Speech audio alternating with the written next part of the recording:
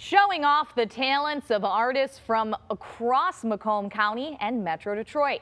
The Anton Art Center in Mount Clemens is opening up its annual Artist Choice Member Show happening tomorrow. And joining us now with a live preview of the show is Executive Director Phil Gilchrist. Thank you so much for being here with us, Phil. Thank you for having me. So for people that may not have gone in the past, tell us a little bit about this show.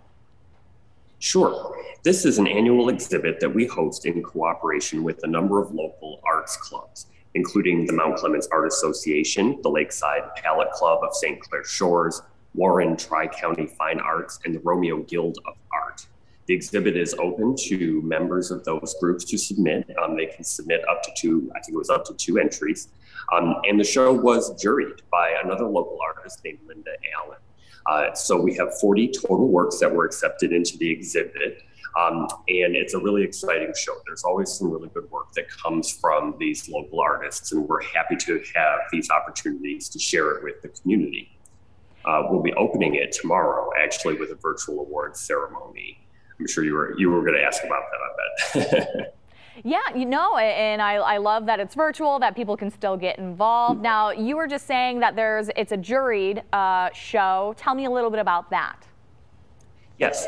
Um, what that means in a nutshell is that uh, we worked with the groups to select another artist who would review all of the entries received and make the selections about which work is included in the exhibit, but also to make some selections for awards. We do have some cash prizes for the first, second, and third place award winning works in the show, uh, as well as, I think, three honorable mention artworks uh, that have all been selected.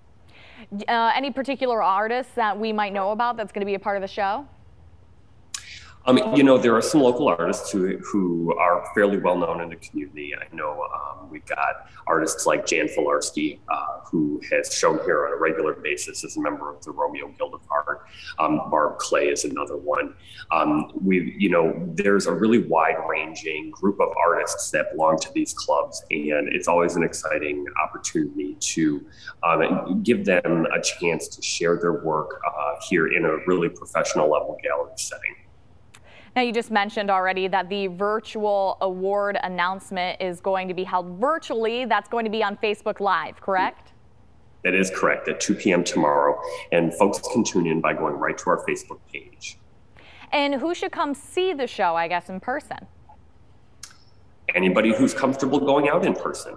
Um, the, the Art Center, the Anton Art Center, is open five days a week currently from 11 a.m. to 3 p.m.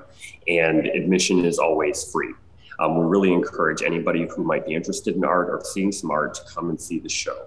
Um, if people would rather not come out in person, we are having this exhibit mounted on our website also as a, a, companion virtual exhibit. So folks can still see the artworks that are included in the show from the comfort of their own home.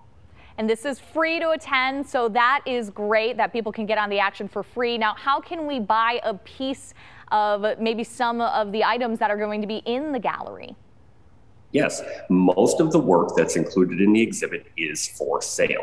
Um, works may be purchased in person here at the Anton Art Center, or if you see a work on our website and you're interested in purchasing, a, uh, purchasing it, you can call our office at 586 469 8666. All right, looking forward to that big show tomorrow. We'll have more information on our website, WXYZ.com. Phil Gilchrist, Executive Director of the Anton Art Center, thank you so much for being here with us this morning. Thank you again.